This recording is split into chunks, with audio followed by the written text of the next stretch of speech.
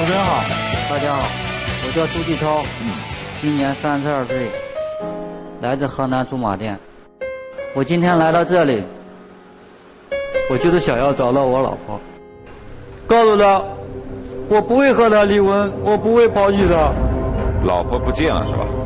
嗯，我真的没有，我真的很没有，你知道吗？不用的，不用自责，朱继超。嗯，哎，真好。这现在找不着了，我很想找到她。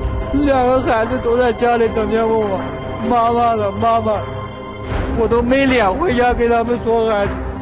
心情平复一下啊。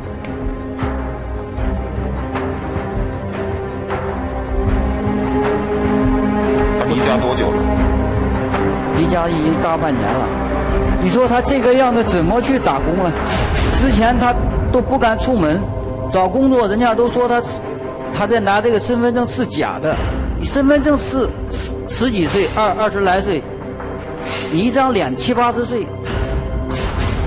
他二十九，八十岁的面孔。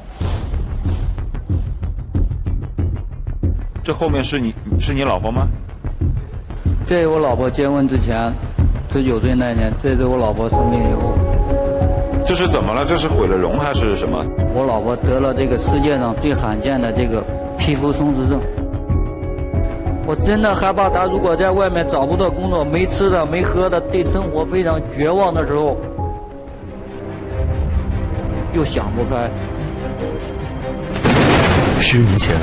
胡娟患上了罕见的获得性皮肤松弛，二十岁妙龄的脸，在一夜之间突然衰老成了八十岁的样子。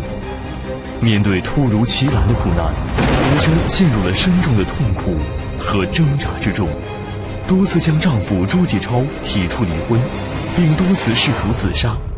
而十年来，朱继超在抚养两个年幼孩子的同时，从未放弃妻子的治疗。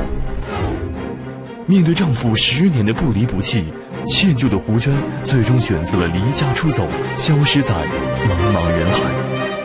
那么，在朱继超多方寻找未果之后，一夜变老的妻子胡娟会出现在告白的舞台，与苦苦寻找的丈夫相聚吗？